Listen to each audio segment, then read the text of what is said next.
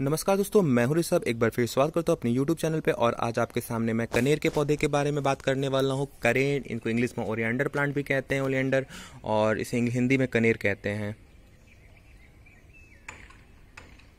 ये देखिए, मिली बग्स का बहुत ज़्यादा अटैक हो चुका है। ये मिली बग है, क्या है? जो भी हो अटैक बहुत ज़्यादा हो चुका है।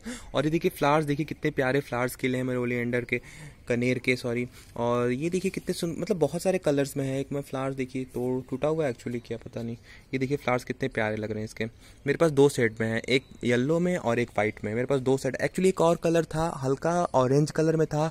मैंने बहुत कोशिश की बट वो मुझे मिला नहीं, हल्का ऑरेंज कलर का जो था। तो मेरे पास फ़िलहाल दो ही कलर है येलो और वाइट बाकी तो ये सारे हैं पिंक वाले, ये तो हाइब्रिड वाले हैं।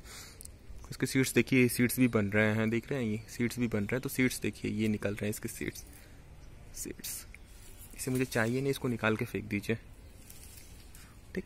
तो ये रहा प्लांट प्लांट मेरा लगा हुआ है बारह इंच के सीमेंट के पॉट में। बारह इंच देखिए पॉट देखिए, ये एक ये वाला है और दूसरा ये वाला है। दो बारह इंच के सीमेंट के पॉट में लगे हुए हैं मेरे ये सारे प्लांट और फ्लारिंग बड़े अच्छे करते हैं। इसको मुझे लगता है इसकी रूट प्रूनिंग हो गई मतलब रूट बाउंडिंग हो गई है, इसकी प्रूनिंग करनी पड़ेगी। बट अभी मैं नहीं करूँगा, ये सारे काम करूँगा मैं बारिशों के टाइम मानसून जब आएगा तब मैं ये सारा काम करूँगा। क्योंकि उस टाइम क्या रहता है, उस टाइम रूट जो होता है वो ईजिली प्लांट सर्वाइव करेगा क्योंकि इस टाइम बहुत ज़्यादा धूप है, गर्मी है प्लांट ऑलरेडी स्ट्रेस में है।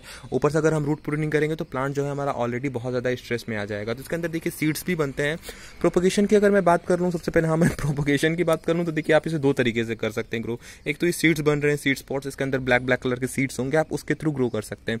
और दूसरी, दूसरा, आप इसे ग्रो कर सकते हैं कटिंग के थ्रू जैसे ये नॉर्मल आप ये कटिंग लिए, और कटिंग के थ्रू जस्ट इसको मिट्टी में आप ऐसे लगा दीजिए, और ये जो नोट्स हैं इधर से जैसे नोट्स हैं, यहाँ से देखिए, ये नोट्स हैं, यहाँ से अपनी ये आपका स्टार्ट हो जाएगा ग्रो करना। तो ये आप इसे कटिंग के थ्रू कर सकते हैं सीड्स के थ्रू भी ग्रो कर सकते हैं। टोटली आपके ऊपर डिपेंड करता है, आप इसे कैसे ग्रो करना चाहते हैं। तो ये रहा इस प्लांट के बारे में। लाइट एंड लोकेशन की बात करूँ तो इसे डायरेक्ट सनलाइट बहुत ज़्यादा पसंद है। मतलब एक ऐसा प्लांट है कि जिसे आप धूप में रख दें, इसको कोई प्रॉब्लम नहीं रहता। बस मिट्टी पानी का भी बहुत वो इशू नहीं होता। इसमें आप पानी मतलब नॉर्मली ऐसा नहीं कि डेली डेली डालना, आप अल्टरनेट भी डालेंगे तो कोई इशू नहीं रहेगा। बट मिट्टी आपके एकदम ड्राई नहीं हो मतलब ऐसा नहीं कि एकदम ड्राई हो जाए मिट्टी, क्योंकि प्लांट आप ऑलरेडी आपका स्ट्रेस में पत्तियाँ ढीले पड़ जाएँगी, नीचे की तरफ़ आ जाएँगी। तो प्लांट जो है आपको ऑलरेडी स्ट्रेस में जाएगा तो आप ऐसा मत कीजिएगा। प्लांट्स जो है, बहुत बहुत डेलिकेट्स होते हैं, बहुत नाजुक होते हैं तो आप ऐसा मत कीजिएगा। मतलब पानी आप जैसे मिट्टी ड्राई हो तो आप यूज़ कर लीजिए।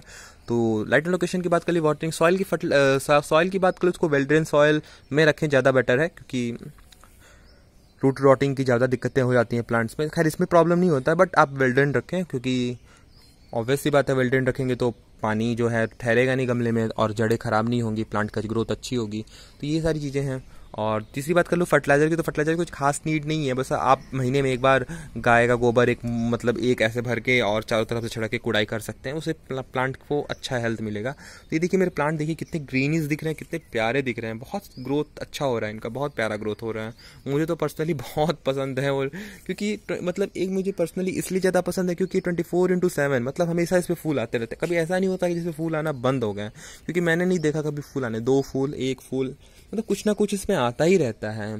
जैसे ये नए नए नए फ्लावर्स आएँगे नए नए बर्ड्स निकलेंगी इसका प्लांट की ग्रोथ बहुत प्यारी होती है, बहुत अच्छा होता है। तो आप इसे अपने घर में ज़रूर लगाएँ, क्योंकि ये बहुत हार्डी प्लांट भी होता है। मतलब ऐसा नहीं है कि बहुत मतलब बहुत ऐसा प्लांट होता है जैसे बहुत बहुत हार्डी प्लांट होता है। सीड्स को अगर आप रोकना ये पॉइजनस भी होता है गाइस ये देखिए, ये जो मिल्क मिल्क निकल रहा है, ये पॉइजनस भी होता है तो आप इसे दूर रखें बच्चों से।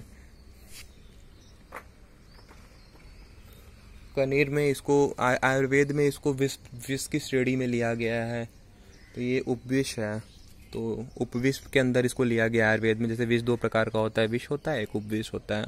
तो ये उपविष के अंदर आया है। तो उपविष जो होता है बेसिकली विष की तरह होता है मतलब ज़्यादा मात्रा में लेने पे वो घातक होता है। तो आप बेसिकली बींग आयुर्वेद स्टूडेंट मैं आपको बता रहा हूँ मतलब आयुर्वेद की बातें यहाँ पे मैं आपको नहीं बताने वाला हूँ बेसिकली मैं आपके प्लांट्स के बारे में बताने वाला हूँ। तो ये प्लांट है तो पॉइजनस तो थोड़ा सा आप इससे दूर रहें। बहुत ज़्यादा इससे क्योंकि इसमें जो मिल्क निकलता है ना, जैसे मैं आपको दिखा रहा हूँ, जैसे ये मिल्क निकल रहा है, ये होता है पॉइजनस होता है तो ये आपको, आपकी बॉडी को या फिर आपके स्किन्स को हार्म भी कर सकता है। तो आप इसे थोड़ा सा नहीं रखे। बाकी ये प्लांट बहुत प्यारा है, बहुत अच्छा है। लगभग सारी बातें मैंने आपको इस प्लांट के रिलेटेड बता दी। अगर आपको प्लीज़ मेरा वीडियो अच्छा लगा तो प्लीज़ मेरे चैनल को सब्सक्राइब कीजिए शेयर कीजिए।